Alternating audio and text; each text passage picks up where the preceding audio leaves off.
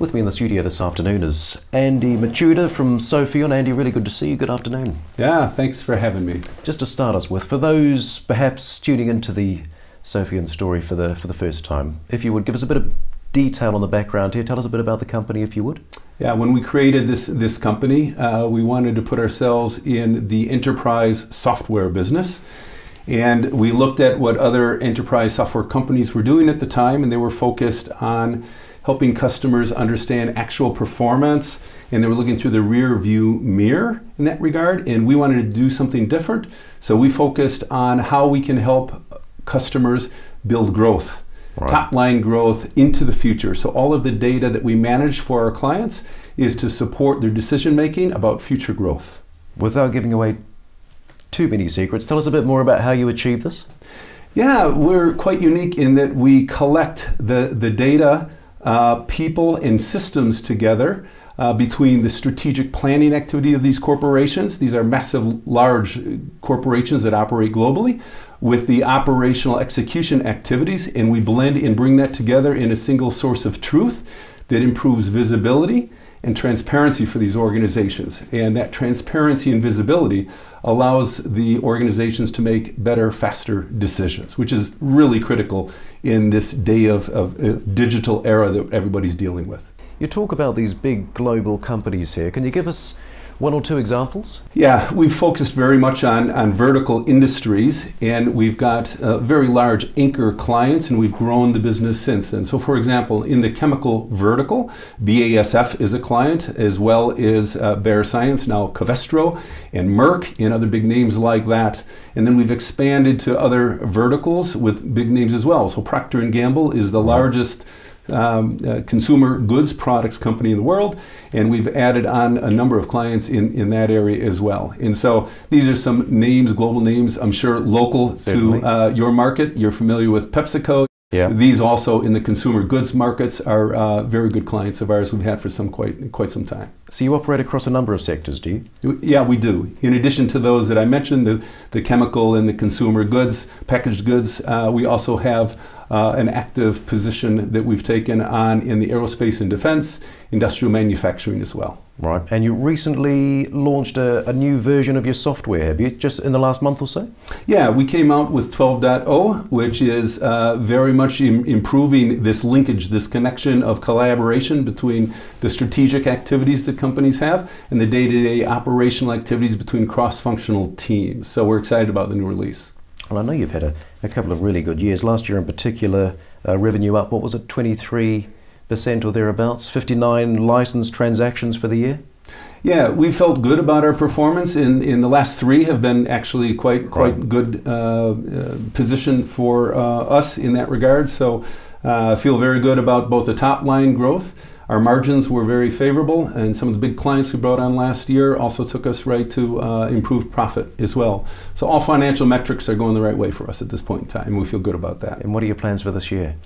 Yeah, so uh, we'll continue that. I think it's most important, um, as I mentioned, you know, over the last three years that we've um, improved at this rate. We want to continue the, the run rate of growth uh, if not exceed it. It's very important for us to uh, continue to stay a leading market position, which we have today, and stay ahead of the competition in, in, the game.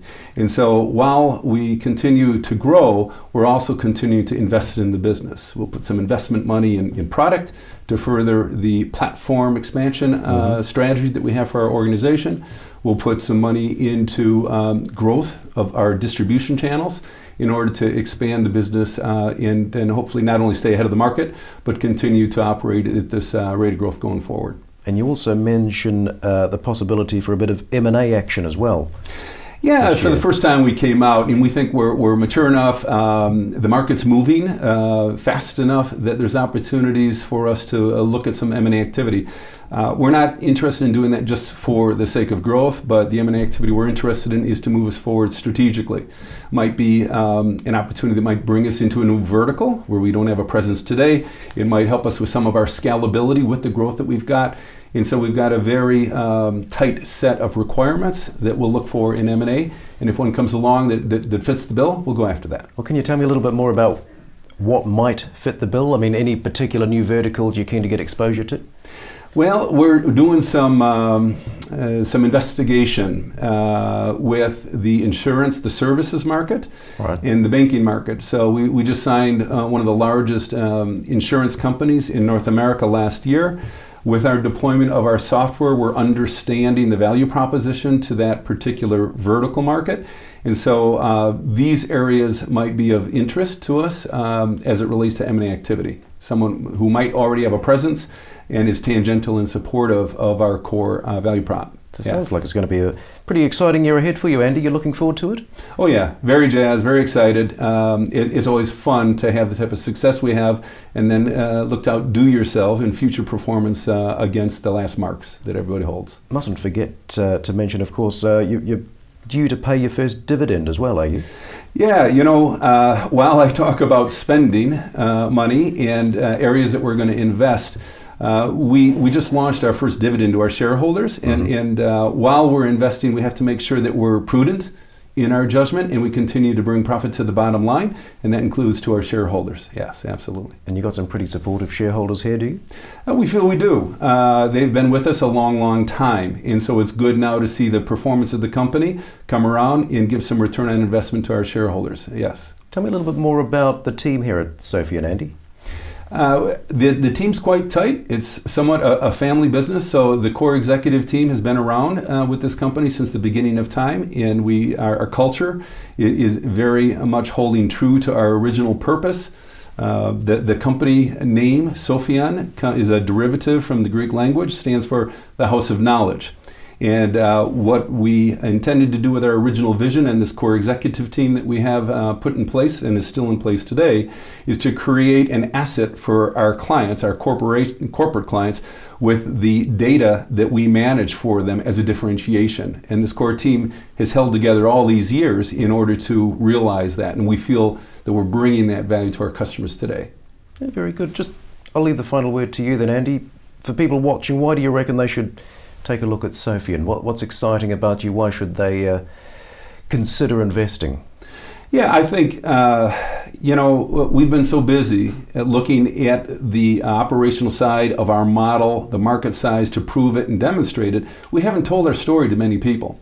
And so it wasn't a surprise that if you look at our peer group, from a market value standpoint, we were behind. But now that we're getting the word out, we're telling the story more, uh, we see that there's um, opportunities for growth quite significantly. So we are focusing uh, upside growth going forward on expanding the footprint and the applications in our current customers where we have these big brand clients, and we're doing that through the investment into our platform.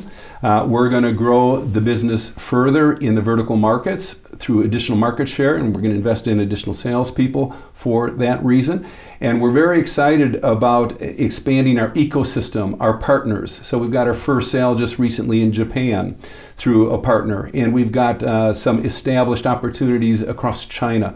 So we're expanding into other geos where we don't have a presence today through partnerships. And so that's an important part of, of growth, and, and that growth is going to drive future value to- for our shareholders. And you, plenty of cash in the bank or enough cash in the bank to support what's going on at the moment?